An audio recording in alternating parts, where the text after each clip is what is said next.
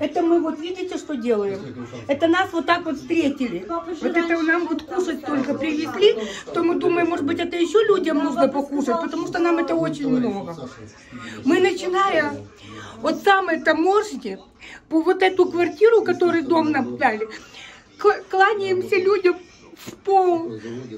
Благодарны за все, как нас встретили, как нас приняли. Вы не понимаете, если говорят, что есть здесь люди, которые что-то им не нравится, или чем-то они недовольны, я просто, как житель Украины, я выросла в Одессе и прошу ни в коем случае так не относиться к этим людям и не делать каких-то репостов о том, что здесь все не то. Это все неправда. Я же говорю, это в пол, в землю, кланяюсь людям, начинает самой таможни. Здесь мои дети, мои внуки, и вы не понимаете. Скажите, Насколько пожалуйста, вы откуда? Мы с Одессы. Мы жили в этом страхе 4 дня. На пятый день утром рано нас оттуда увезли. Что там было? Ну, мы живем вообще в такой территории, где у нас буквально 15 минут моря. Центр нашего района. У нас рядом воинская часть, которую два раза взрывали. У нас э, настолько гремело, у нас стены дрожали. Так гремело. Дети, все на нервах, все в переживаниях, естественно, и мы, но как взрослые мы прятались, там у нас есть отдельная комнатка, и где нет ни окон, ничего, как бы мы туда все на ночь уходили, потому что очень страшно. Э, В центре более как-то немножечко, может быть, было не так. Но мы все-таки вот, у нас воинская часть, которая взрывают воинские части. У нас порт Одесса, с одной стороны порт Ильичевский, с другой стороны. Поэтому мы как-то в середине всего этого находимся, да. Очень страшно. Мужья и сыновья все за нас, конечно, переживали, и поэтому решили нас оттуда отправить. Сами все остались там. Папа 78 лет, сын, зять. Очень за все переживаю.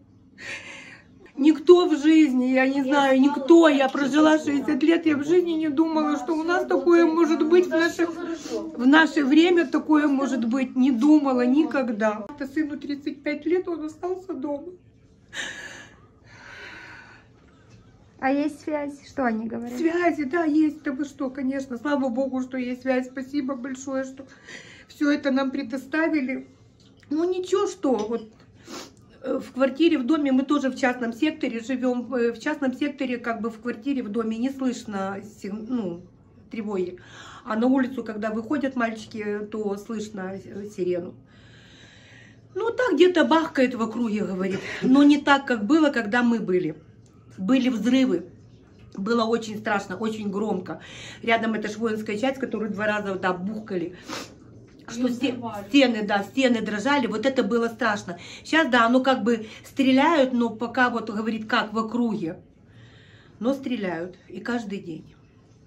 У нас получается очень много друзей и родственников в Одессе, и все живут в разных районах у нас, ну вот город, и все в разных районах, и вот мы все вот как бы на связи. Тетя живет в одном районе с семьей, там э, братья, сестры по, по другим районам, и мы все на связи. У нас вот группа, и мы все, у кого э, воздушная тревога, тот пишет уже воздушная тревога, то бишь мы все все видим, мы все все слышим, что они там, что мы здесь. Кто говорит, мы мы уже прячемся, кто говорит, мы ночуем в подвале. Валичевский брат семью отправил, они тоже здесь, в Молдове, э, а сам остался служить. Да. Это вообще, это уму непостижимо. Во-первых, у нас город Одесса, он настолько у нас город, который мы людей принимали, но мы не думали, что нам придется даже куда-то бежать. Оставили дом, оставили все. Все оставили, все. Что успели взять? Успели необходимые вещи взять, все, что мы успели. Все, что нужно, вот. Надеемся, ненадолго. Спасибо, что приносят люди еду. За все огромное спасибо.